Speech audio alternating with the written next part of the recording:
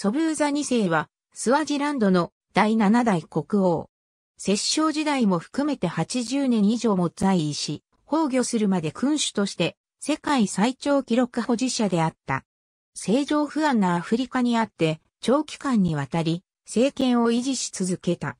1899年に第6代国王ネグワネ5世の王太子として生まれる。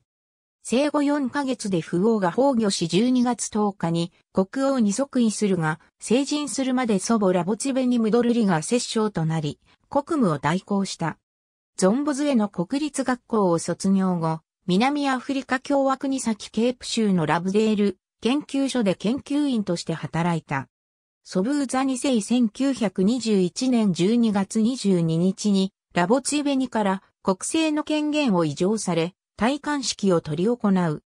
戴冠後間もなく、ソブーザ2世は1927年にイギリスが設定した土地収奪問題に取り組み、イギリス国王ジョージ5世と会談しスワ知事に土地を返還するように求め、1929年には数密院に問題を提起したが、保護療法により請願は拒否された。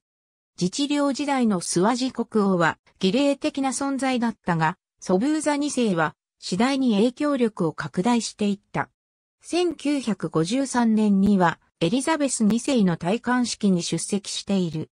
ソブーザ2世はイギリスが提唱したウェストミンスターシステムに反対の意思を表明し、応答派のメンバーで固めたインボコドボ国民運動を決闘し、同党は独立後の1972年の選挙で大勝した。1968年9月6日にはイギリスからの独立を宣言し、イギリスから正式にスワジランド国王として承認される。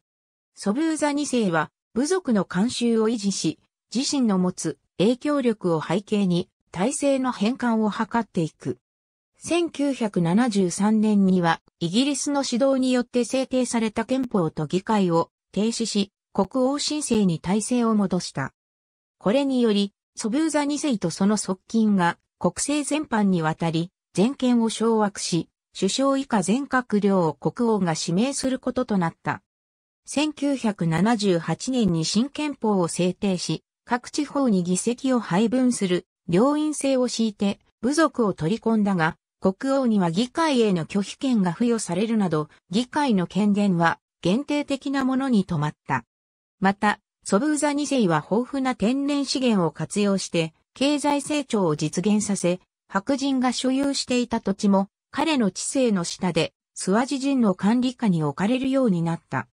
1980年に在位80周年を迎えたソブーザ2世は南アフリカに対してバントゥースタンの撤廃を求め、隔離されたスワジ人の解放を訴えた。1982年にムババーネで崩御した。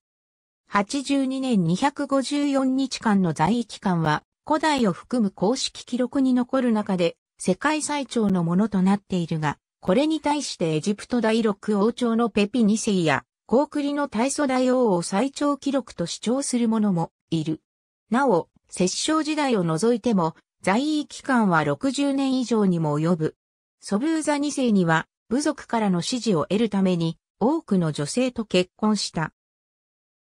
2000年の王立委員会の調査によると、ソブーザ2世は1920年から1970年にかけて70人の王妃を迎え、210人の王子、王女がいた。子供のうち180人が幼児期を生き延び、97人が成人になったと報告されている。また、ソブーザ2世が崩御した時点で、1000人以上の孫がいたという。ソブーザ2世の崩御後、直ちに国王を選定する王室諮問評議会が開かれ、マコセティブ王子が国王に選出され、同時に摂政が選ばれることになった。スワジランドの慣習では、戦王の王妃が摂政に選出されることになっていた。当初、摂政はゼリーウェ王妃が任命されたが、権力闘争によって失脚し、その後はヌトンビ王妃が摂政を務めた。マコセティブは1986年に国王に即位し、ムスワティ3世となった。ありがとうございます。